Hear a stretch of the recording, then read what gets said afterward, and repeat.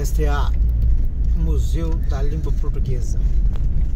E aqui à esquerda a estação de trem. Aqui é o Parque da Luz.